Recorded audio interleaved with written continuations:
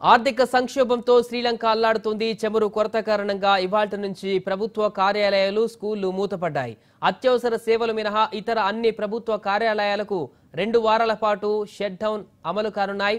తాజాగా ప్రభుత్వ కార్యాలయం మూత కారణంగా ప్రజల కోసం ఐక్యరాజ్య సమితి అత్యవసర సేవలను ప్రారంభించింది. సంక్షోభం నుంచి గట్టెక్కేందుకు శ్రీలంక ప్రభుత్వం శతవిధాలా యత్నిస్తుంది. ఇక నుంచి నాలుగు రోజులే ప్రభుత్వ పనిదినాల విధానాన్ని అమలు చేయనుంది. ఇక వివిధ దేశాలతో రుణాల కోసం చర్చలు జరుపుతోంది. రష్యా చమురు కోసం ప్రయత్నాలు చేస్తోంది. మరోవైపు ఇండియా సహాయంతో రుణాల కోసం అంతర్జాతీయ ద్రవ్యనిధి సంస్థతో చర్చలు జరుపుతోంది.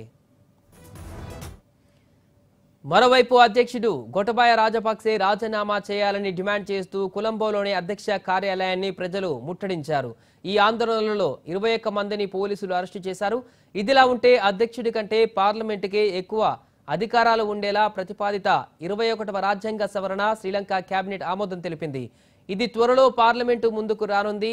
ఇది ఆమోదం పొందితే గొటబాయకు ఉన్న విశేష అధికారాలకు కోత పడనుంది దీంతో గొటబాయ నామమాత్రపు అధ్యక్షుడిగా ఉండనున్నారు. ఇప్పటికే ప్రజల ఆందోళనలతో ప్రధాని పదవికి మహిందా రాజపక్సే రాజీనామా చేశారు.